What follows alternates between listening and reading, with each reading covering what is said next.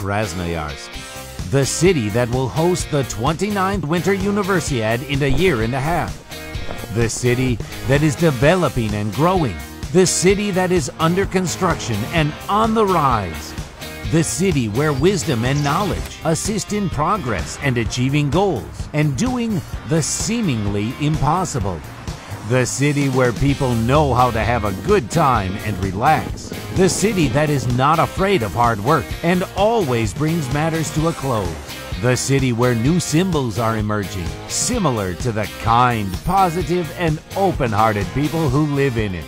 Coming soon is the event that the whole city has been preparing to make happen. The whole city is putting its efforts to make the Universiade a celebration. A celebration of sports. For you, for me, for everyone.